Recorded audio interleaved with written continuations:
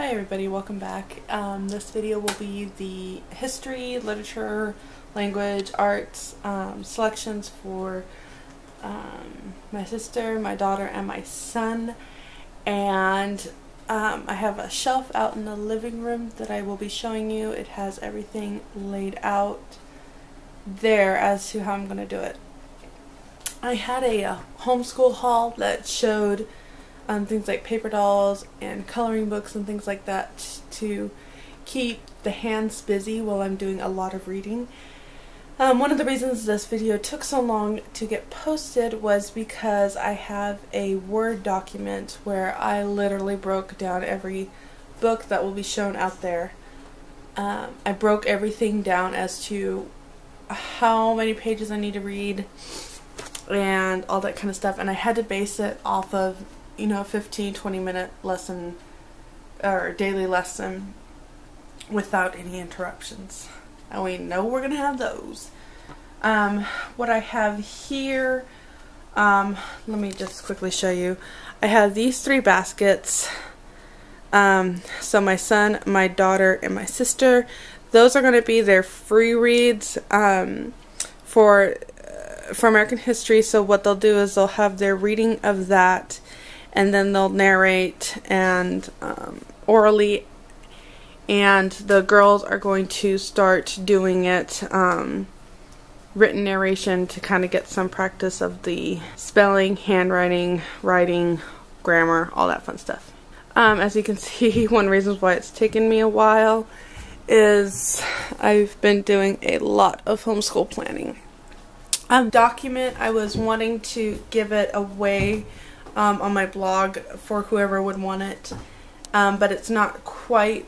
I've never uploaded something that somebody can download, so I don't know how to do that yet. But um, once I get that done, I will put it in the description box below and mention it in another video of mine that it is finally up. Um, so check back with that. You can um, also subscribe on my on my blog um, so you'll get notifications when I've posted something, and that'll help you too. Um, but right now, I'm just going to show you what the kids are going to be doing for their reading. Um, and then I'll take you in the living room and I'll show you my shelf with the American history. And there's there's a ton. And oh, one of the one of the reasons we're doing American history this year is because we ended our Story of the World study with Christopher Columbus discovering America.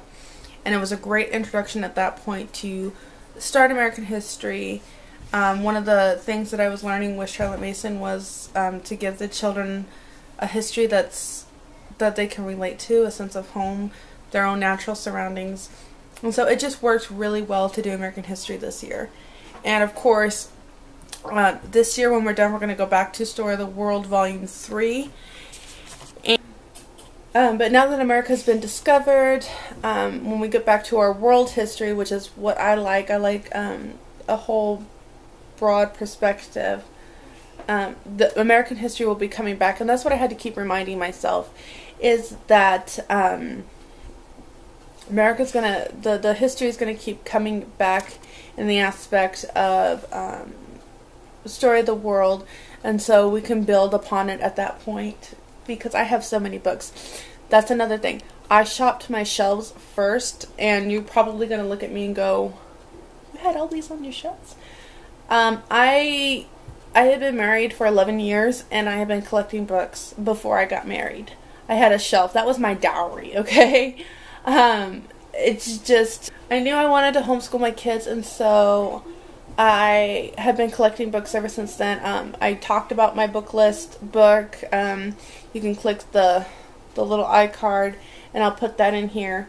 So if I bought any books, I will try to make mention of it, but most of these I did have on my shelves that I've just collected over the years.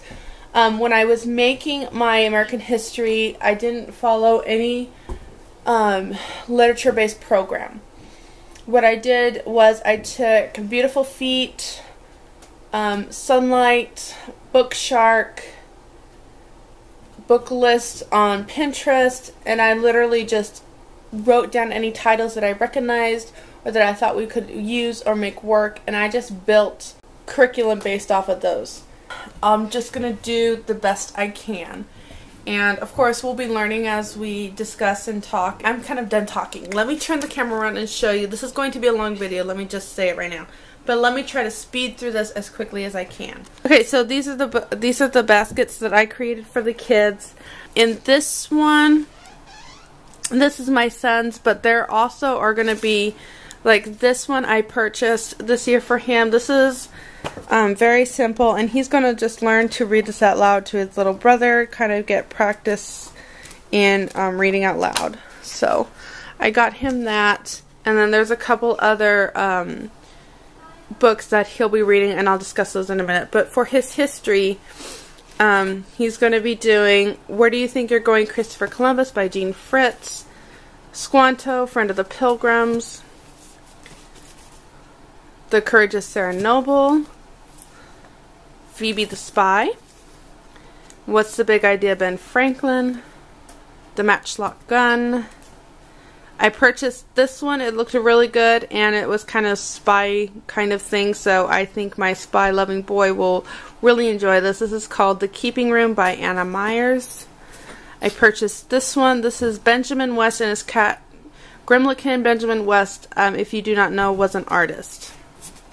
Um, this one's by Marguerite Henry. Um, what was the Lewis and Clark expedition? who was Frederick Douglass, Charlie Skedaddle, The Legend of Jimmy Spoon, Bully for You, Teddy Roosevelt, Sarah Plain and Tall, Justin Morgan Had a Horse, who was Alexander Graham Bell, Albert Einstein, Childhood of Famous Americans, Electrical Wizard, How Nikola, Nikola Tesla Lit Up the World. This is the Wright Brothers, this is um, a World War One or two, World War Two book about a boy and his dog. Okay, and then these books. Um, oops, this is another one for his. And then who was FDR? Franklin Roosevelt. Okay, now these books, um, I picked, chose these based off of Simply Charlotte Mason. Um, these will just be um, books that um, literature books that he is required to read. They don't necessarily have to do anything to do with history. So we're going to do Along Came a Dog. Now, we do a lot of reading in the evening, so this might just be what he'll be doing in the reading, or in the evening, I'm sorry. Prince Caspian. And I let him choose which ones. I, I showed the list, and he was required to do four, and he added more to that. So he added that, and that. Oops. And, okay, this does go in his history thing see my, all of my things good. Oh, and this is another one that he wanted me to require him to read. Here's my daughter. So she has Who Was Ferdinand Magellan, Journey to the New World, The Fighting Ground by Avi, The Cabin Faced West. Um, there you go. Make way for Sam Houston. I thought I had to read that. Stonewall. Let's see. 1852, the Journal of Wong Ming-Chung. Perilous Road. Sing Down the Moon. Shades of Grey. The Great Turkey Walk. Harriet Tubman, Best Log Cabin Quilt, Runaway Home and Be Free, Bound for Oregon. Alright, it's got the Confederacy. Now with her, I kind of broke up some of the um, Civil War books with some other things. That way she didn't have so many. Let's see. What else do we have? Let's see. Bonanza Girl. Over the Waves, Sounder, Thomas Edison,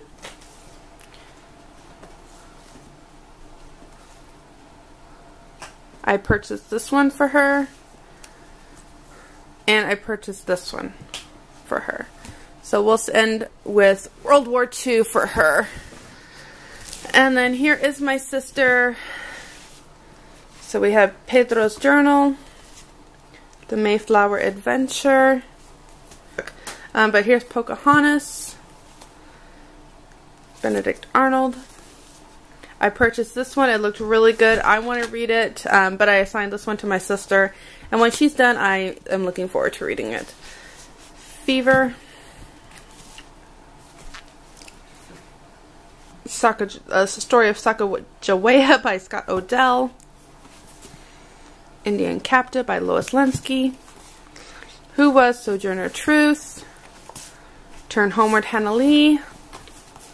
And Sounder. Now she only has about three books uh, relating to Civil War because she just did an intensive study on it with her co-op. Um, but I just left those there. Children of the Covered Wagon. The Ballad of Lucy Whipple. She also has Bonanza Girl by the Great Horn Spoon.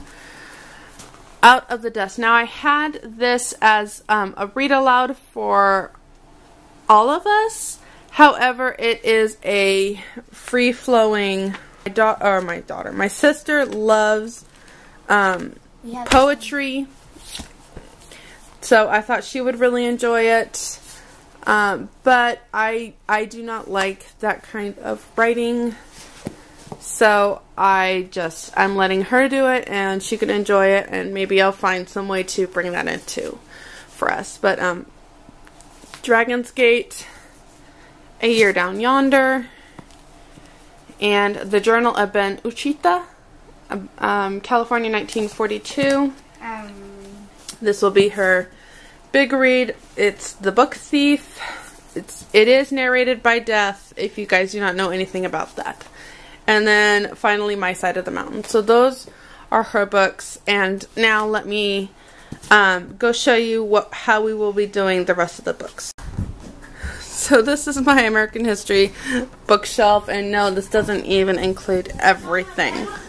Okay, so I have these books that are not listed in my layout plan, but they are all here if we want um, to, to read anything or do anything. I have a bunch of these biographies that I, again, just collected over the years. Um, I purchased this one and this one they looked really good and so at thrift books they had them very inexpensive so I did add those to my library this year these are what I'm going to do. Um, forgive me for not taking them out. I have them laid out, and I really want to try to keep it that way. But, um, so this is the spine, and this is by Josephine Pollard. A copyright thing, but I haven't been able to find this one for free. But I did find some of her other ones, and I'll, I'll mention that in a minute. So this will be our spine, of Child's History of the Life of Christopher Columbus. And then we'll do um, a lot of the d'Aulaire. So this is, I had this for... Um, Story of the World Volume 2, and then this one I had from Story of the World Volume 2. I picked up this one. I don't really have anything on the first Indians, so I have this one and this one that we'll be doing, and then as we finish this one, we'll head into this one. This one is free public domain type of book. So that'll be our spine, and we'll kind of go into this one, but we're not reading this whole book. It starts like at about page 10, I think, is when we start reading that one. Um, let's see, this one I picked up this year, The Lost Colony. And, let's see. Then we're going to read The Double Life of Pocahontas. Landing of the Pilgrims by James Daugherty. The Witch of Blackbird Pond. And then Beautiful Feet had their books for $10 each, so we picked up Benjamin Franklin, and we'll be reading that. We'll be reading Esther Forbes, Johnny Tremain. Again, these are the read alouds for the whole family. Um, George Washington by d'Aulaire. Soft Rain, the trail of the uh, the story of the Cherokee Trail of Tears. Abraham Lincoln, Across Five Aprils. Buffalo Bill, Moccasin Trail, Eight Mules from Monterey by Patricia Beatty, Esperanza Ri Rising, Okay, now I was going to be doing this one, um, but somebody told me that she thought that might be really difficult for my children at this point. I didn't remember that at all. It's been many years since I read this. Um, so if anybody has any more suggestions, I am open and willing. Right now we have Bud, not Buddy, as a possibility of a replacement. Okay, and then I have The War That Saved My Life. This is an amazing book, just saying.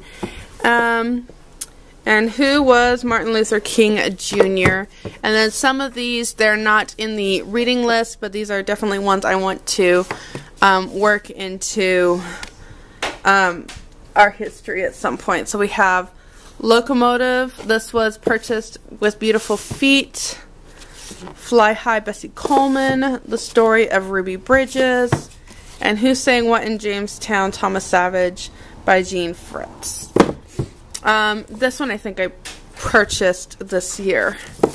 Um, but other than that, um, I haven't, again, I've just shot my shells and kind of created something from that. Okay, so, so far, that's kind of what I'm doing. Again, these ones down here, I have a ton, as you can see, and if we need to pull something out, I am more than happy to do that. I have a lot of these um, Betsy Maestro books that um, I've heard really good things about, especially this one I want to try to figure out how to work in because it's the French and Indian Wars. Um, but again, you you don't have to cover everything. Oh, this one I recently purchased and I wanted to um, put this into our school at some point. We have one of my favorite children's book of Betsy Ross. Um, if you've never read this one, this one's a very inspiring. Um, anyway, there's a ton. I think, oh, I wanted to try to work in Henry Wadsworth Longfellow's Hiawatha. And again, there's just, I have a ton of Jean Fritz. Anyway, so this is what I'm going to be using for American history. And I hope this video kind of just gave you an idea of how we're going to be using this as a family. Um, so this is part three. Oh, you know what? Even down here, I have a ton of, you know, who is and who is and what was and where. So all these uh, who is and what is and where is and all that we can figure out a way to put in as well. I'm not too worried about it because with history again it'll be coming back and, and you kind of it's like um you know it's like excavating you just start digging deeper and deeper and deeper as they get more into it anyway thank you so much for watching and I will see you in my next video bye